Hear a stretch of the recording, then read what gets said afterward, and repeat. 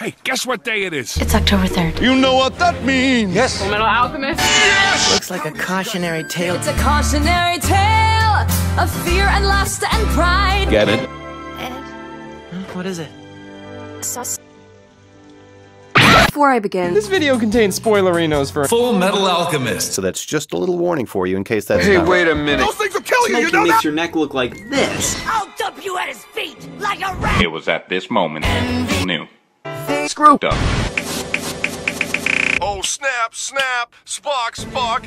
What in the heck are you doing to my lieutenant? There's a moment you know.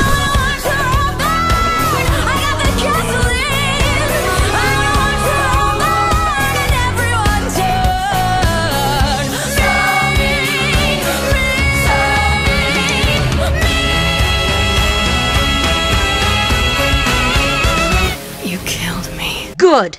She's leaving!